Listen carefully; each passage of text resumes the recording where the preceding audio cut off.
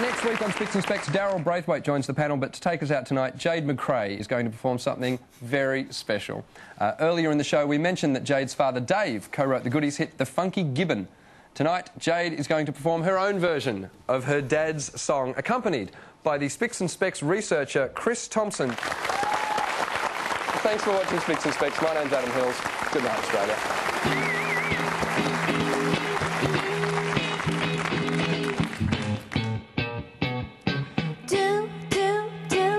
Funky gibbon. The Funky Gibbon. We are here to show you how. Ooh, ooh, ooh, the funky gibbon. The Funky Gibbon. Just like you, so come on and do the funky gibbon now. Gee, the world would be good. I know how nice it could be just a little give and take. Like that gibbon. Ooh, you feel the rhythm. And we'll dance and take off to the planet of the apes. Do, do, do the funky gibbon. Funky Gibbon. We are here to show you how.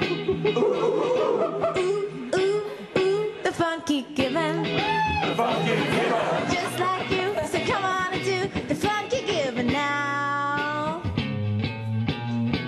said, ooh, ooh, ooh, the funky gibbon. Ooh, ooh, ooh, the funky gibbon. Ooh, ooh, ooh, the funky gibbon. The funky gibbon.